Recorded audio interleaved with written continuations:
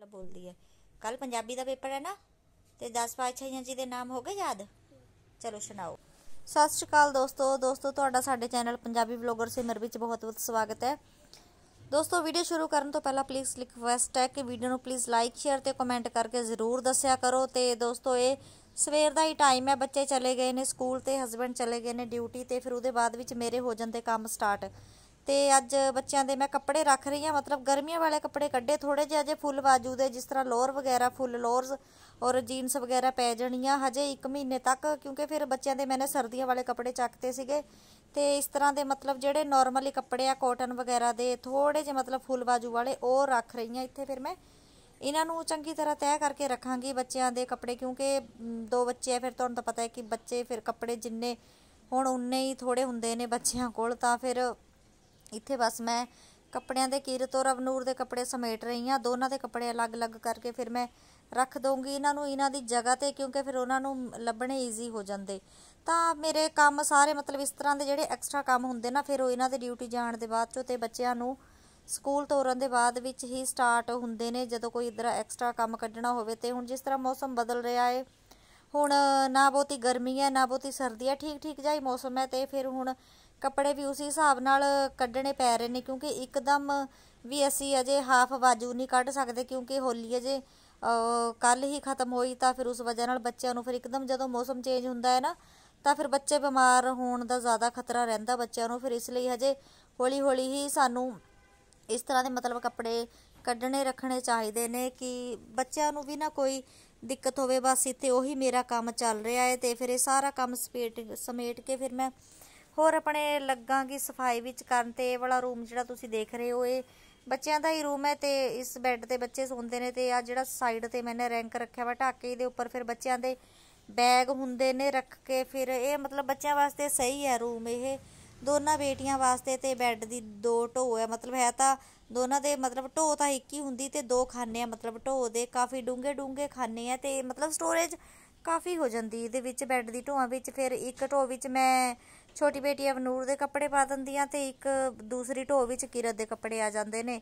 ਤੇ ਇਸ ਤਰ੍ਹਾਂ ਨਾ ਬੱਚਿਆਂ ਨੂੰ ਕੱਪੜੇ ਕੱਢਣਾ ਈਜ਼ੀ ਹੋ ਜਾਂਦਾ ਤੇ ਜਿਹੜੇ ਸਰਦੀਆਂ ਵਾਲੇ ਮੋٹے ਕੱਪੜੇ ਆ, ਫਿਰ ਮੈਂ ਉਹਨਾਂ ਨੂੰ ਚੱਕ ਕੇ ਰੱਖ ਦਿੰਦੀ ਦਿੰਦੀਆਂ ਬੈੱਡ ਵਿੱਚ ਤੇ ਉਹ ਹੁਣ ਨਿਕਲਣਗੇ ਅਗਲੀ ਸਰਦੀਆਂ ਵਿੱਚ ਕੱਪੜੇ, ਕਿਉਂਕਿ ਫਿਰ ਸਰਦੀਆਂ ਦੇ ਕੱਪੜੇ ਇਸ ਤਰ੍ਹਾਂ ਹੁੰਦੇ ਤੇ ਗਾਹ ਵੀ ਬਹੁਤ ਜ਼ਿਆਦਾ ਪੈ ਜਾਂਦਾ, ਪੂਰਾ ਖਿਲਖਿਲਾਰਾ ਹੋ ਜਾਂਦਾ ਕੱਪੜਿਆਂ ਦਾ। ਤਾਂ ਇਸ ਲਈ ਮੈਂ ਨਾਲ ਨਾਲ ਜਿੱਦਾਂ ਧੋ ਕੇ ਹੁਣ ਮੌਸਮ ਚੇਂਜ ਹੋ ਰਿਹਾ ਨਾ, ਫਿਰ ਉਸ ਹਿਸਾਬ ਨਾਲ ਕੱਪੜਿਆਂ ਨੂੰ ਫਿਰ ਮੈਂ ਰੱਖ ਦਿੰਦੀ ਦਿੰਦੀਆਂ, ਨਾਲ ਨਾਲ ਧੋ ਕੇ, ਕਿਉਂਕਿ ਫਿਰ ਕੱਪੜੇ ਐਵੇਂ ਪਏ ਰਹਿੰਦੇ ਨੇ, ਫਿਰ ਉਹਨਾਂ ਦਾ ਕੋਈ ਮਤਲਬ ਨਹੀਂ ਬਣਦਾ ਹੈਗਾ, ਫਿਰ ਐਵੇਂ ਪੂਰੇ ਘਰ ਵਿੱਚ ਨਾ ਖਲਾਰਾ ਜਾ ਹੀ ਰਹਿੰਦਾ, ਤੇ ਹਾਂ, ਤੁਹਾਨੂੰ ਮੈਂ ਇੱਕ ਚੀਜ਼ ਹੋਰ ਦੱਸਦੀ ਆ ਬਹੁਤ ਵਧੀਆ, ਤੇ ਇਹ ਜਿਹੜਾ ਪਿੱਛੇ ਸਾਡੇ ਰੂਮ ਦਾ ਉਹ ਹੈ ਨਾ, ਬੈੱਡਰੂਮ ਹੈ, ਮੇਰੇ ਔਰ ਹਸਬੰਡ ਦਾ ਤਾਂ ਇੱਥੇ ਜਿਹੜਾ ਬੈੱਡ ਲੱਗਿਆ ਵਾ ਨਾ, ਤੇ ਜਿਹੜਾ ਤੁਸੀਂ ਦੇਖ ਰਹੇ ਹੋ ਨਾ ਮੈਟ, ਇਹ ਫਿਰ ਅਸੀਂ ਬੈੱਡ ਤੇ ਵੀ ਚਿਪਕਾਤਾ। ਮਤਲਬ ਲੱਕੜ ਤੇ ਵੀ ਇਹ ਬੜਾ ਲੱਗ ਜਾਂਦਾ ਈਜ਼ੀ ਉਸੇ ਫੈਵੀਕੋਲ ਨਾਲ ਚਿਪਕਿਆ, ਕਿਉਂਕਿ ਇਸ ਬੈੱਡ ਦਾ ਮੇਕਓਵਰ ਅਸੀਂ ਬਾਅਦ ਵਿੱਚ ਕਰਾਂਗੇ। ਇਹਦੀ ਢੋ ਵਗੈਰਾ ਹਜੇ ਲੱਗਣੀ ਹੈ, ਤਾਂ ਉਹਨੂੰ ਅਸੀਂ ਬਾਅਦ ਵਿੱਚ ਦੇਖਾਂਗੇ। ਫਿਲਹਾਲ ਫਿਰ ਇਹ ਚੰਗਾ ਨਹੀਂ ਲੱਗਦਾ ਸੀਗਾ, ਫਿਰ ਇੱਥੇ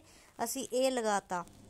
ਬਸ ਇਹਦੇ ਬਾਅਦ ਵਿੱਚ ਫਿਰ ਮੇਰਾ ਝਾੜੂ ਮਾਰਨੇ ਦਾ ਕੰਮ ਹੋ ਜਾਂਦਾ ਏ। ਤਾਂ ਇਹ ਦੇਖੋ ਇੱਧਰ ਫਿਰ ਮੈਂ ਇੱਥੇ ਝਾੜੂ ਵੀ ਮਾਰ ਰਹੀ ਹਾਂ ਕਿਉਂਕਿ ਇਹ ਸਾਡੀ ਲੇਡੀਜ਼ ਦਾ ਝਾੜੂ ਤਾਂ ਹੁਣ ਮੇਰਾ ਕਈ ਵਾਰੀ ਵੱਜਦਾ, ਤਕਰੀਬਨ 2-3 ਵਾਰ ਵੱਜ ਹੀ ਜਾਂਦਾ ਕਿਉਂਕਿ ਫਿਰ ਜਿਸ ਤੁਹਾਨੂੰ ਪਤਾ ਹੈ ਨਾ, ਫਿਰ ਜਿਸ ਹਿਸਾਬ ਨਾਲ ਘਰ ਬਣਦਾ ਹੈ ਨਾ, ਫਿਰ ਘਰ ਸਫ਼ਾਈ ਵੀ ਉਸੇ ਹਿਸਾਬ ਨਾਲ ਮੰਗਦਾ ਏ ਤੇ ਹੁਣ ਤਾਂ ਮਤਲਬ ਜ਼ਿਆਦਾ ਸਫ਼ਾਈ ਵਾਲਾ ਕੰਮ ਹੋ ਗਿਆ ਵਾ ਕਿਉਂਕਿ ਮੈਟ ਵਗੈਰਾ ਲੱਗਿਆ ਨਾ, ਇੱਕ ਤਰ੍ਹਾਂ ਟਾਇਲ ਦਾ ਕੰਮ ਹੀ ਹੋ ਜਾਂਦਾ। ਫਿਰ ਜਿਸ ਤਰ੍ਹਾਂ ਤੁਸੀਂ ਟਾਇਲ ਲਗਾ ਲਓ ਜਾਂ ਮੈਟ ਲਗਾ ਲਓ, ਕੁਝ ਵੀ ਹੈ ਨਾ ਤਾਂ ਫਿਰ ਸਾਨੂੰ ਘਰ ਦੀ ਸਾਫ਼ ਸਫ਼ਾਈ ਅਸੀਂ ਲੇਡੀਜ਼ ਹੀ ਕਰ ਸਕਦੀਆਂ ਨੇ, ਆਪਣੇ ਤਰੀਕੇ ਨਾਲ ਕਰਨਾ ਹੁੰਦਾ।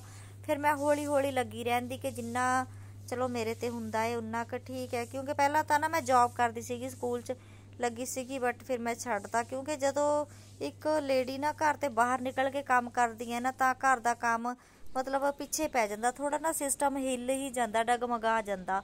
ਤਾਂ ਇੱਧਰ ਫਿਰ ਮੇਰੀ ਮਸ਼ੀਨ ਵੀ ਚੱਲ ਰਹੀ ਹੈ, ਬਸ 2 ਮਿੰਟ ਰਹਿ ਗਏ ਸੀ। ਮਸ਼ੀਨ ਵਿੱਚ ਕੱਪੜੇ ਵੀ ਹੋਣ ਵਾਲੇ ਨੇ। ਫਿਰ ਮਤਲਬ ਲਗਾਤਾਰ ਸਾਰੇ ਕੁਝ ਨਾ ਕੁਝ ਕੰਮ ਫਿਰ ਚੱਲਦੇ ਹੀ ਰਹਿੰਦੇ। ਫਿਰ ਉਹੀ ਹੈ ਨਾ, ਜਦੋਂ ਅਸੀਂ ਫਿਰ ਜੌਬ ਕਰਦੇ ਆ ਨਾ, ਫਿਰ ਇੱਕ ਤਰ੍ਹਾਂ ਨਾਲ ਲੇਡੀ ਨੂੰ ਘਰ ਦਾ ਪਿੱਛੇ ਸਾਰਾ ਕੁਝ ਬਹੁਤ ਸਪੀਡ ਵਾਲਾ ਕੰਮ ਹੋ ਜਾਂਦਾ। ਜਾਂ ਤਾਂ ਉਹਨੂੰ ਸ਼ਾਮ ਨੂੰ ਸਾਰਾ ਕੰਮ ਕਰਕੇ ਰੱਖਣਾ ਪੈਂਦਾ, ਜਾਂ ਫਿਰ ਸਵੇਰੇ ਜਲਦੀ ਉੱਠ ਕੇ ਕਰਨਾ ਪੈਂਦਾ, ਜਾਂ ਫਿਰ ਉਹ ਡਿਊਟੀ ਤੇ ਆ ਕੇ ਕੰਮ ਕਰਦੀ ਹੈ।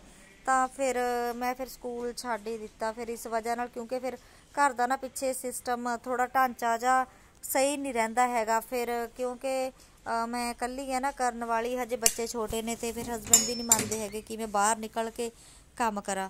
ਤਾਂ ਦੇਖੋ, ਇਧਰ ਮੇਰਾ ਸਾਰਾ ਘਰ ਸੈੱਟ ਹੋ ਗਿਆ। ਮਤਲਬ ਤਸੱਲੀ ਨਾਲ ਬੇਸ਼ੱਕ ਤੇ ਟਾਈਮ ਲੱਗ ਜਾਂਦਾ ਬਟ ਆਪਣਾ ਘਰ ਤਸੱਲੀ ਨਾਲ ਹੀ ਸੈੱਟ ਹੋ ਜਾਂਦਾ ਹੈ। ਤਾਂ ਬਹੁਤ ਸੋਹਣਾ ਸੋਹਣਾ ਲੱਗਦਾ, ਚਾਹੇ ਅਸੀਂ ਰੋਜ਼ ਉਹੀ ਕੰਮ ਕਰੀਏ ਨਾ ਤਾਂ ਫਿਰ ਵੀ ਮਨ ਨੂੰ ਇੱਕ ਤਸੱਲੀ ਹੋ ਜਾਂਦੀ। ਤਾਂ ਅੱਜ ਮੈਂ ਤੁਹਾਨੂੰ ਇੱਕ ਬਹੁਤ ਵਧੀਆ DIY ਦੱਸਣ ਜਾ ਰਹੀ ਹਾਂ। ਇਹ ਦੇਖੋ ਇੱਕ ਜਿਹੜੇ ਚਾਹ ਦੇ ਕੱਪਾਂ ਦਾ ਡੱਬਾ ਹੁੰਦਾ ਹੈ ਨਾ, ਅਸੀਂ ਇਸ ਨੂੰ ਇਸ ਤਰ੍ਹਾਂ ਹੀ ਸਿੱਟ ਦਿੰਦੇ ਆ ਕੂੜੇ ਵਿੱਚ ਦੇ ਦਿੰਦੇ ਆ ਇਹਦੀ ਅਸੀਂ ਕਦਰ ਨਹੀਂ ਕਰਦੇ। ਇਹਦੇ ਵਿੱਚ 6 ਬਾਕਸਸ ਬਣੇ ਨੇ। ਤੇ ਮਤਲਬ 6 ਕੱਪ ਦਾ ਸੈੱਟ ਸੀਗਾ ਇਹ ਤੇ ਅੱਜ ਇਹਦੇ ਵਿੱਚ ਮੈਂ ਇਹ ਵਾਲਾ ਆਪਣਾ ਸਾਰਾ ਸਮਾਨ ਆਰਗੇਨਾਈਜ਼ ਕਰਾਂਗੇ। ਬਿਲਕੁਲ ਫ੍ਰੀ ਆਫ ਕੋਸਟ ਬਣੇਗਾ ਇਸ ਬਾਕਸ ਵਿੱਚ ਕਰਕੇ। ਦੇਖੋ ਇਹਦੇ ਵਿੱਚ ਜਵੈਲਰੀ ਹੋਈ, ਮੇਰੇ ਮਤਲਬ ਜਵੈਲਰੀ ਹੈ, ਬੱਚਿਆਂ ਦੇ ਕਲਿੱਪਸ ਹੈ ਦਾ ਛੋਟੇ ਮੋਟਾ ਸਮਾਨ ਜਿਹੜਾ ਮੈਂ ਇੱਕ ਡੱਬੇ ਵਿੱਚ ਭਰਿਆ ਸੀਗਾ ਤਾਂ ਹੁਣ ਮੈਂ ਦਾ ਅਲੱਗ-ਅਲੱਗ ਬਾਕਸਿਸ ਵਿੱਚ ਪਾ ਕੇ ਰੱਖਾਂਗੀ ਤੇ ਬਹੁਤ ਵਧੀਆ ਹੈ ਮਤਲਬ ਅਸੀਂ ਨਾ ਕੁਝ ਬਾਹਰ ਤੇ ਕੁਝ ਖਰੀਦਣਾ ਨਾ ਵਾਸਤਾ। ਦੇਖੋ ਬੱਚਿਆਂ ਦੇ ਯੂਨੀਕੋਰਨ ਵਾਲੇ ਕਲਿੱਪਸ ਹੈ ਹੇਅਰ ਕਲਿੱਪਸ ਇਹਨਾਂ ਦੇ ਮੇਰੀ ਦੋਨੋਂ ਬੇਟੀਆਂ ਦੇ। ਆ, ਇਹਨਾਂ ਦੀਆਂ ਜਿਹੜੀਆਂ ਛੋਟੀ ਛੋਟੀਆਂ ਪਿੰਸ ਹੁੰਦੀਆਂ ਕਲਚਰ ਟਾਈਪ ਹੁੰਦੇ ਬੱਚਿਆਂ ਦੇ, ਜੂੜਾ ਵਗੈਰਾ ਕਰਨ ਨੂੰ ਤਾਂ ਇਹ ਕਲਿੱਪੀਆਂ ਹੋਈਆਂ, ਇਹਨਾਂ ਦੀਆਂ ਕਲਿੱਪਸ ਹੋਏ।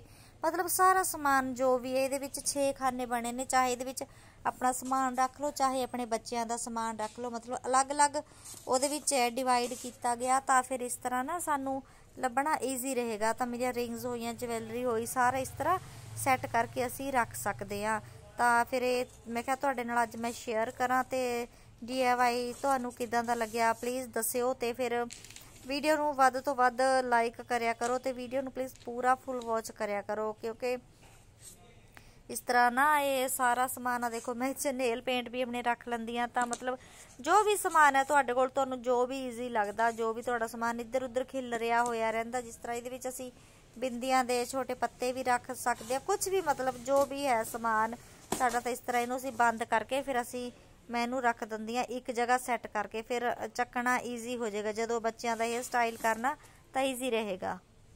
ਬੋਲਦੀ ਹੈ। ਕੱਲ ਪੰਜਾਬੀ ਦਾ ਪੇਪਰ ਹੈ ਨਾ? ਤੇ 10 ਪਾਤਸ਼ਾਹੀਆਂ ਜੀ ਦੇ ਨਾਮ ਹੋ ਗਏ ਯਾਦ? ਚਲੋ ਸੁਣਾਓ। ਪਹਿਲੀ ਪਾਤਸ਼ਾਹੀ ਸ਼੍ਰੀ ਗੁਰੂ ਨਾਨਕ ਦੇਵ ਜੀ ਦੂਜੀ ਪਾਤਸ਼ਾਹੀ ਸ਼੍ਰੀ ਗੁਰੂ ਅੰਗਦ ਦੇਵ ਜੀ ਤੀਜੀ ਪਾਤਸ਼ਾਹੀ ਸ਼੍ਰੀ ਗੁਰੂ ਅਮਰਦਾਸ ਜੀ ਚੌਥੀ ਪਾਤਸ਼ਾਹੀ ਸ਼੍ਰੀ ਗੁਰੂ ਰਾਮਦਾਸ ਜੀ ਪੰਜਵੀਂ ਪਾਤਸ਼ਾਹੀ ਸ਼੍ਰੀ ਗੁਰੂ ਅਰਜਨ ਦੇਵ ਜੀ ਛੇਵੀਂ ਪਾਤਸ਼ਾਹੀ ਸ਼੍ਰੀ ਗੁਰੂ ਹਰਗੋਬਿੰਦ ਜੀ ਸੱਤਵੀਂ ਪਾਤਸ਼ਾਹੀ ਸ਼੍ਰੀ ਗੁਰੂ ਹਰਰਾਏ ਜੀ ਅੱਠਵੀਂ ਪਾਤਸ਼ਾਹੀ ਸ਼੍ਰੀ ਗੁਰੂ ਹਰਕ੍ਰਿਸ਼ਨ ਜੀ ਨੌਵੀਂ ਪਾਤਸ਼ਾਹੀ ਸ਼੍ਰੀ ਗੁਰੂ ਤੇਗ ਬਹਾਦਰ ਜੀ ਦਸਵੀਂ ਪਾਤਸ਼ਾਹੀ ਸ਼੍ਰੀ ਗੁਰੂ ਗੋਬਿੰਦ ਸਿੰਘ ਜੀ। ਵੈਰੀ ਗੁੱਡ ਤੇ ਚਾਰ ਸਾਹਿਬਜ਼ਾਦਿਆਂ ਜੀ ਦੇ ਨਾਮ ਆਂਦੇ ਆ? ਜਿਹੜੇ ਗੁਰੂ ਗੋਬਿੰਦ ਸਿੰਘ ਜੀ ਦੇ ਪੁੱਤਰ ਸੀਗੇ ਉਹਨਾਂ ਦੇ ਨਾਮ ਵੀ ਦੱਸੋ। ਸਭ ਤੋਂ ਵੱਡੇ? ਸਭ ਤੋਂ ਵੱਡੇ। ਸਭ ਤੋਂ ਵੱਡੇ ਸੀਗੇ ਬਾਬਾ ਅਜੀਤ ਸਿੰਘ ਜੀ।